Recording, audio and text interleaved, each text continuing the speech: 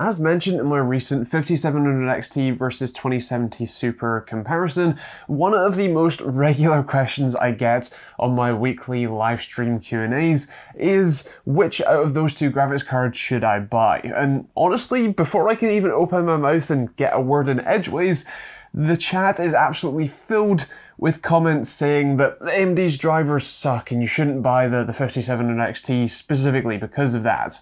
Now, those comments have been getting more and more frequent over the last month or so, mostly due to a reasonable ramp up in number of uh, users and content creators reporting issues, specifically black screens, with those uh, newer cards, specifically with the latest AMD driver version. And so in this video, I want to walk you through what those issues are, what the fixes are, are available right now, and specifically since AMD just launched their 20.2.2 driver, if they still suck or if they've fixed all of the issues. let's give you a little background first. The main issue that people, especially owners of the RX 5700 and 5700 XTs, were reporting was the black screen issue I mentioned.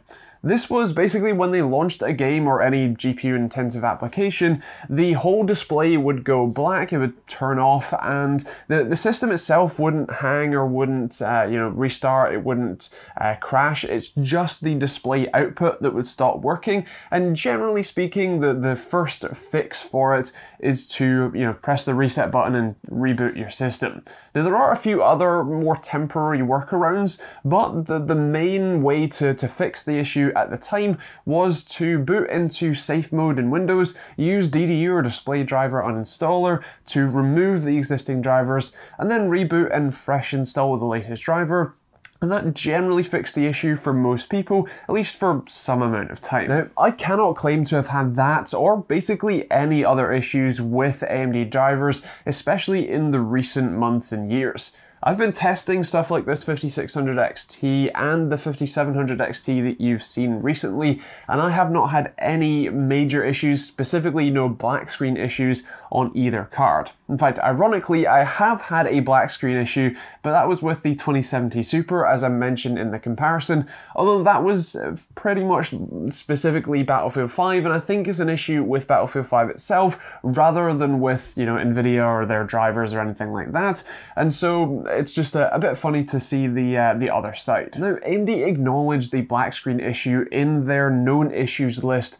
on their 20.1.3 driver release a couple of months ago now, and since then has been trying to work to fix them, but in statements, and actually very similarly to me, had a lot of trouble trying to replicate the issue and so found it difficult to find out what the actual root cause of the problem was and therefore took a while to be able to fix it. One of the things AMD mentioned could be causing the bug was when the graphics card switches its sort of performance modes, so going from say an idle state, to low power mode to a you know full speed gaming mode, the driver could crash in between that uh, sort of process and cause the, the display to stop outputting. Now sometimes just unplugging and replugging the display cable can fix that, which is nice, but like I mentioned before, the main workaround fix is generally to uninstall the driver and reinstall it, which I know is a, pretty big pain if you're just trying to play some games and then you need to spend half an hour uninstalling and reinstall drivers. With that said, in their latest 20.2.2 driver release,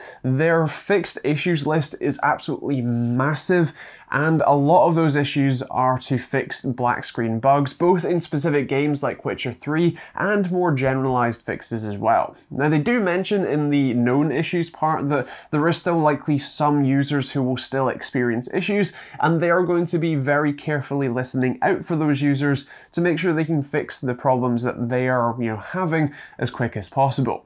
On that front, they're actually launching a new program called AMD Vanguard, where if you're so inclined, you can sign up and become a graphics driver beta tester, test out their newest features and drivers, and you know, see if you can spot these types of bugs before they necessarily have to publish it to everyone else.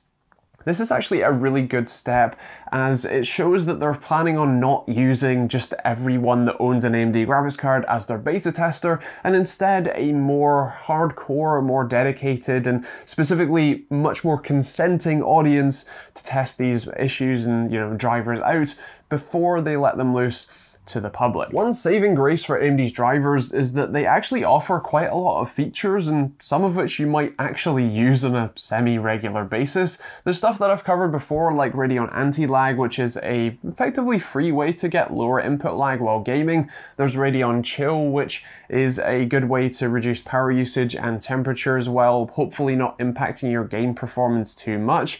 There's also their Relive or Relive set of features which includes streaming from the driver itself or recording.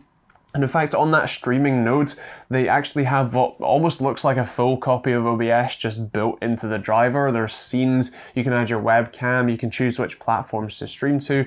It's actually pretty cool. And a load of other stuff too, like their mobile AMD Link app and auto overclocking and actually just overclocking monitoring in the driver too. So it definitely is a, a pretty good driver to have if you're willing to uh, put up with the generally slow updates. So with that said, especially when it comes to the 5700 XT versus 2070 Super, is it worth going with an AMD GPU? Honestly, I think so. I think it's really easy to paint the picture that this, which if you look at the numbers of number of people affected by the issue versus number of people who've bought AMD graphics cards recently, it's a relatively isolated issue, and I think it's easy to paint the picture that this issue is a, a, deal breaker for all. And if you buy that, you know, these graphics cards, you will have that issue. But one, it's fixed now. Two, AMD have proven that they are determined to fix issues as soon as they possibly can. And three, you get such a good price to performance advantage over a 2070 Super that I think it's worth it anyway.